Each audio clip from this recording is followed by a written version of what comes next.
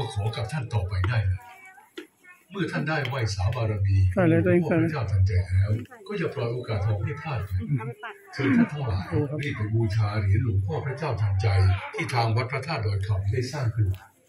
เมื่อท่านบูชาไปแล้ว ให้เอาพกติดตัวแขวนไว้กับไหลเพื่อมาขอพรขอบารมีองค์หลวงพ่อพระเจ้าทันใจ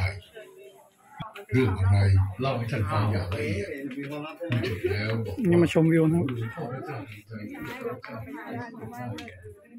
เอ้ยโอมอยู่นะครับ อันนี้วิวพระธาตุดอยคำนะครับ ปีที่แล้วก็มาวันนี้ครับ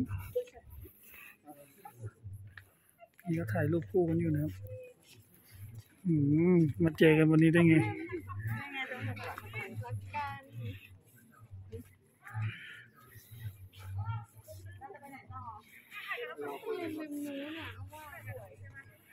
มันมีไฟร้านกาแฟ